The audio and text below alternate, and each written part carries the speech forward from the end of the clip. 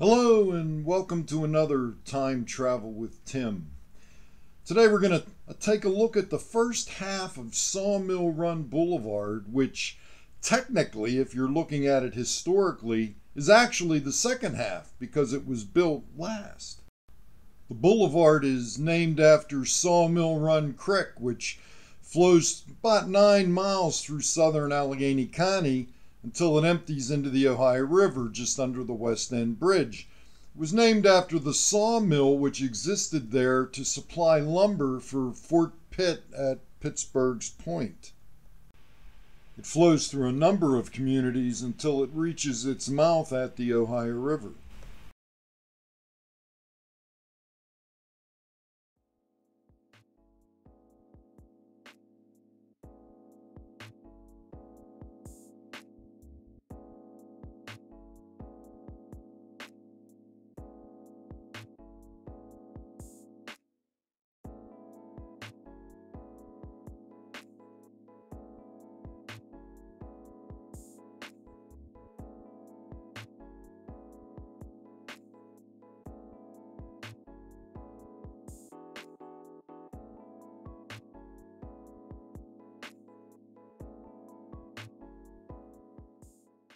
Sawmill Run Boulevard was created as part of Allegheny County's 1928 City Beautiful program, which also included the creation of Ohio River Boulevard, Allegheny River Boulevard, and Mosside Boulevard. It runs from Library Road in Overbrook to Carson Street in the West End, with West Liberty Avenue and the Liberty Tubes right in the middle.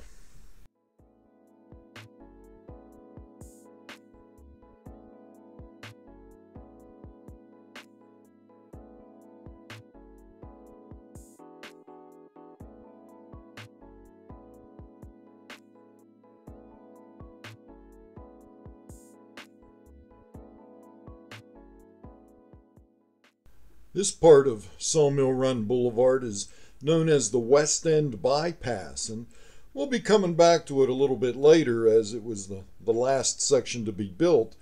But right now, we're going to jump to the middle at the Liberty Tubes and head back this way.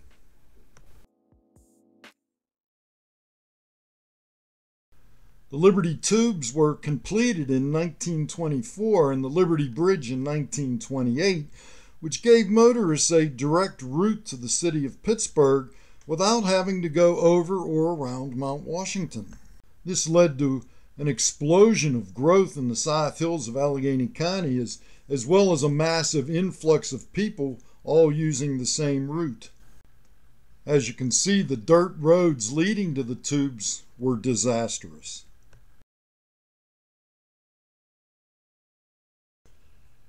As you'll see, the, the area is almost unrecognizable from the way it was about a hundred years ago.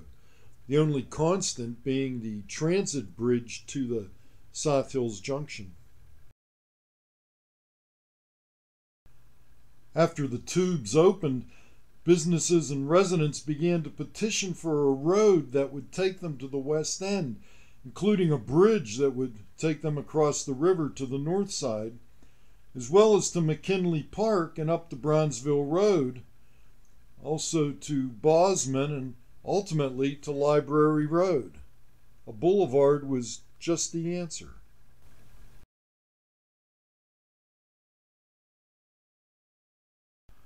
So in early 1929, money was approved and, and work began on the first phase of the boulevard from Library Road to West Liberty Avenue which was completed in December of 1929. We'll highlight that in part two.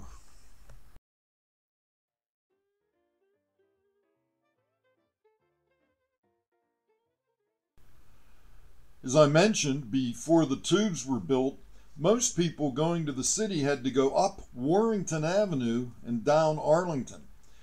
But as traffic increased, there needed to be some alternate routes, especially on some of those less maintained roads.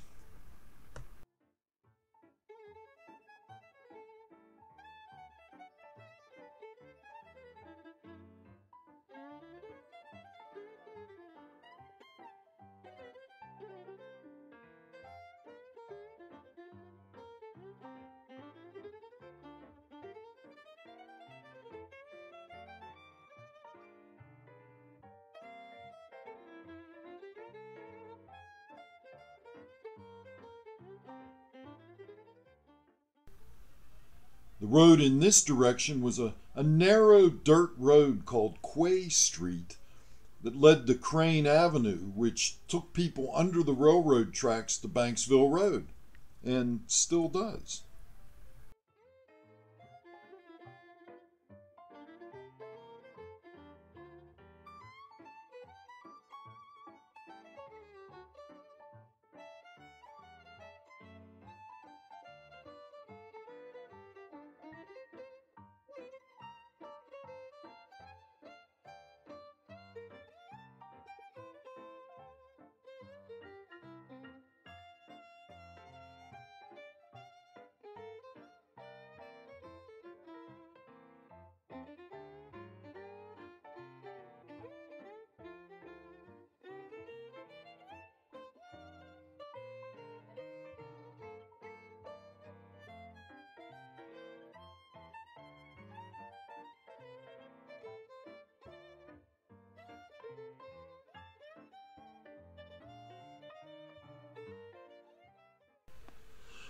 So let's continue north on our journey to the beginning of Sawmill Run Boulevard to what I think is one of the most interesting and fascinating parts of the journey.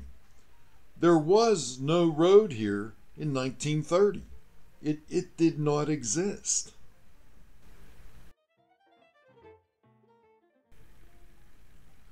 I've driven through here hundreds, probably a thousand times and never realized the engineering marvel I was experiencing. Look at the tops of those hills on the right hand side. They used to extend across the road and beyond.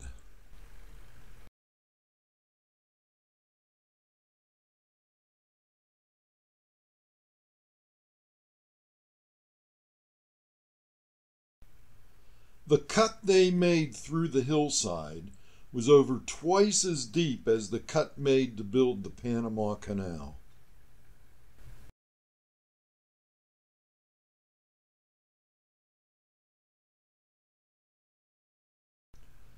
The engineer in charge said that to his knowledge, it is the biggest cut ever made in roadway construction. And while my guess would be that that's been surpassed by now, at the time, it was quite a feat, and, and looking at it today, we would never know.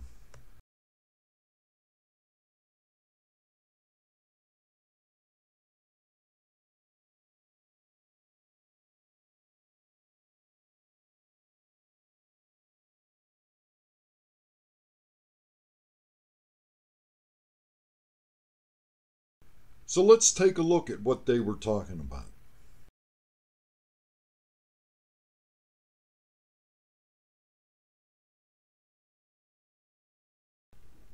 The train trestle that you see in the distance there was built to carry trains to the Wabash Tunnel, which opened in 1903.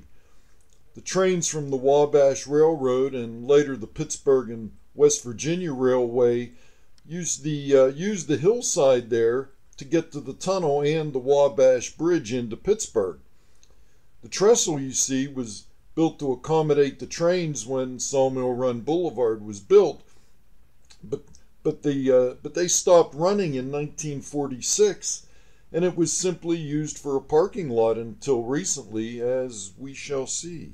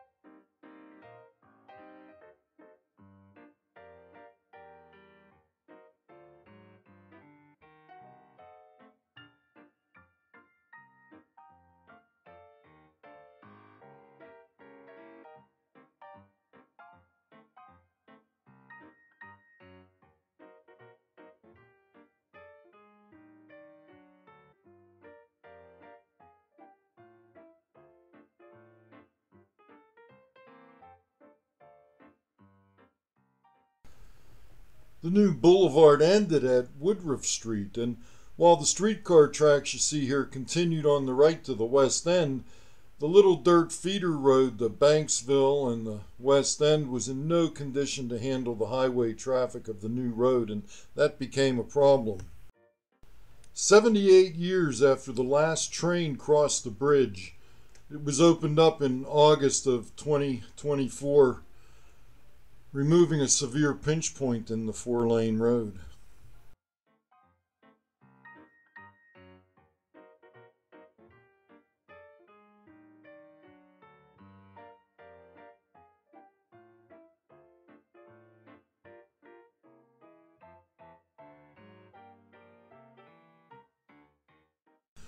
Less than two weeks after the opening, the city and the county came to an agreement that the county would foot the bill for an extension to a traffic circle connecting Sawmill Run with Banksville Road and Woodville Avenue to the west end.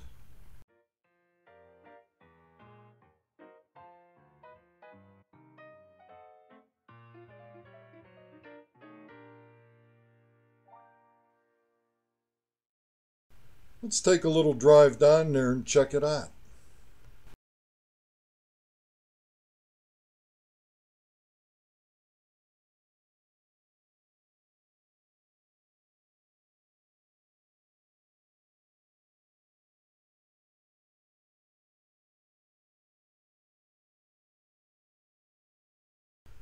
The Fort Pitt tunnels were only a dream at that time.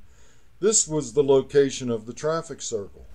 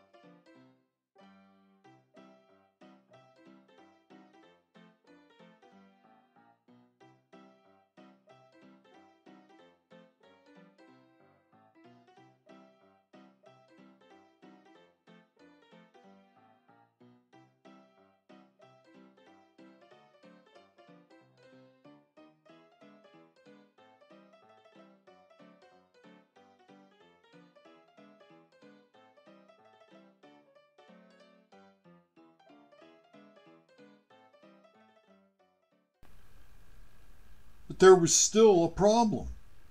Once people got to the traffic circle, they still had to navigate their way through the West End to the Point Bridge to go downtown, or the West End Bridge to the north side, which was built in 1932.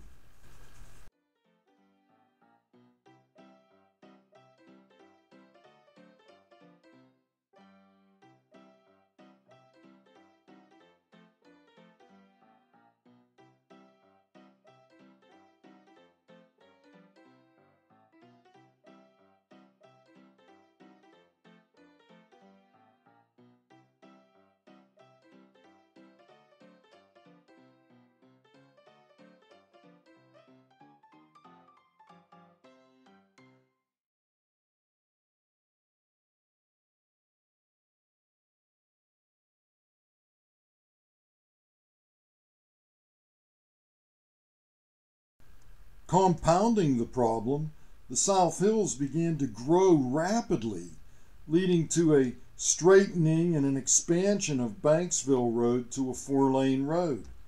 Problems in the West End continued to mount.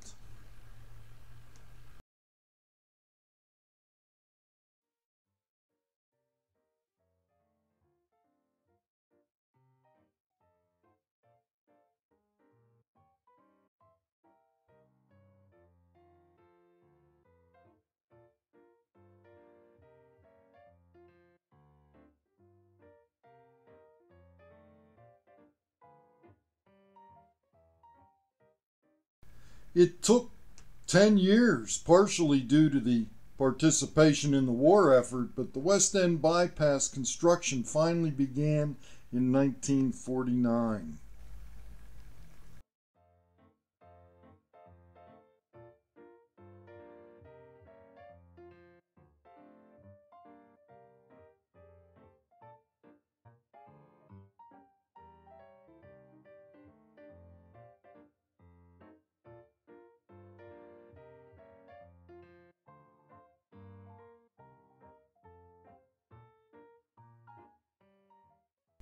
The bypass was completed in August of 1951, only to close six months later for almost a year and a half until June of 1953 so the traffic circle could be eliminated for the Parkway West and work could begin on the Fort Pitt tunnels, which opened in 1959.